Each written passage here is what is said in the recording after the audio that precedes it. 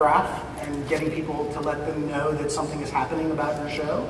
And other times it's more crafted and more specific to users through sponsored stories and newsfeed, whether it be on desktop or mobile. Um, so, you know, I don't think there's, uh, you know, any one way we think about it. We're not going in there with our head down, horns out, you know, spend money. Um, we actually take a little bit more strategic approach and, you know, try to cater to um, the need. And sometimes that's all about creative and content. And you know, sometimes we layer in media. So I think it's uh, about paid, owned, and earned, and you know, hitting the right person at the right time with the right strategy. And you know, media is important. Yeah, yeah. You know, with the, the folks in coincident viewing, a lot of this is obviously happening on, on tablets, right? So talk about mobile. How is mobile fitting into the mix within your advertisers? You know, are you seeing the shift and kind of where, where are we with that now? Yeah, um, you know, I joined the company two years ago, and we were a very desktop-centric company. And then, you know, Mark one day says, we're a mobile company.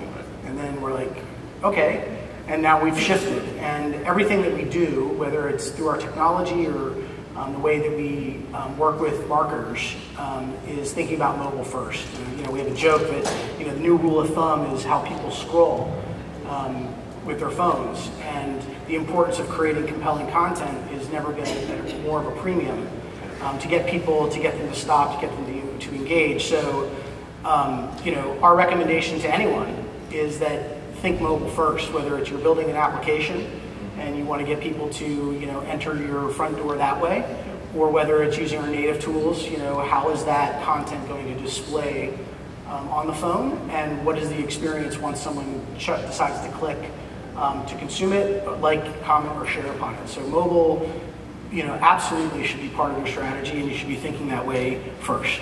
Yep. And with mobile, with mobile advertising, it seems like one of the most common criticisms you hear is, you know, you can't measure the ROI, there's no ROI, and even sometimes when it comes to Facebook.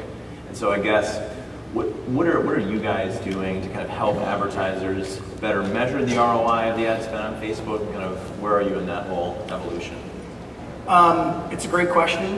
Um, I think that you know anyone sitting in the seat from any platform um, would um, you know hope that we would have better tools and better analytics. I think it's a really hard question to answer. I can't get into too deep because we're in a quiet period, but I can say that you know every day we're out there trying to work more closely with our partners, um, you know, with third parties to kind of figure out you know what's the return on that investment. And so, you know, it's, it's, it's a fun question to tackle. It's a fun problem right. to tackle, um, and not an easy one. So we're trying every day. Yeah. Moving beyond the likes. Yes. Dollars for like. That's correct. Yeah. Give another uh, slide. Um, I do. Um, so